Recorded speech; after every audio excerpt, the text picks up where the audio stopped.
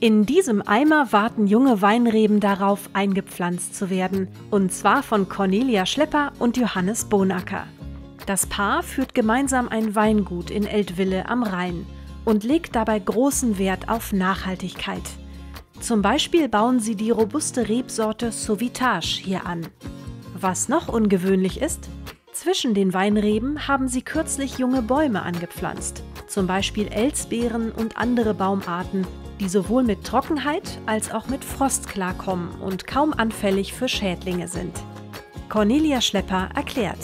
Der Klimawandel, das ist die größte Herausforderung, die wir im Weinbau einfach haben. Und unsere Reben fit für den Klimawandel zu machen, das ist unsere Aufgabe. Und da erhoffen wir uns von den Bäumen einen Rieseneffekt. Denn die Bäume können zwei Dinge. Zum einen, wenn sie groß sind, Schatten über unsere Reben geben.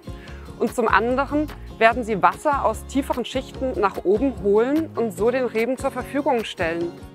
Dahinter steht die sogenannte Viti-Forst-Methode. Sie schützt vor Bodenerosion und steigert die Biodiversität.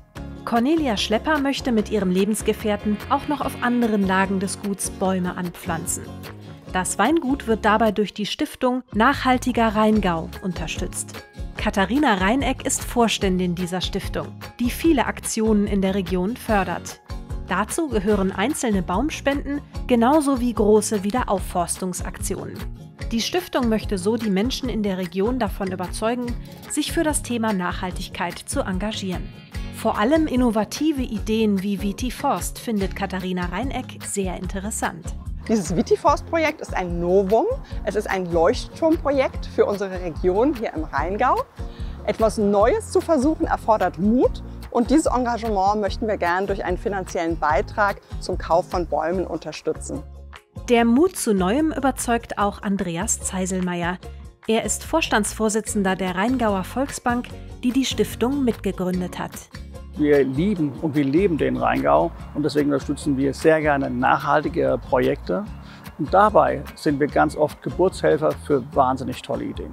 Ein Beispiel für eines dieser Projekte ist hier Vitiforst, ein wirklich tolles Projekt, das wir sehr gerne unterstützen. Die Baumpflanzungen hier in diesem Weingebiet sollen nur der Anfang sein. Denn der Klimawandel wird die Weingüter vor große Herausforderungen stellen. Wenn sich aber noch mehr von ihnen mit solchen innovativen Ansätzen auf die Zukunft vorbereiten, ist der Weg auch noch in einigen Jahrzehnten frei für die leckeren Weine aus dieser Region.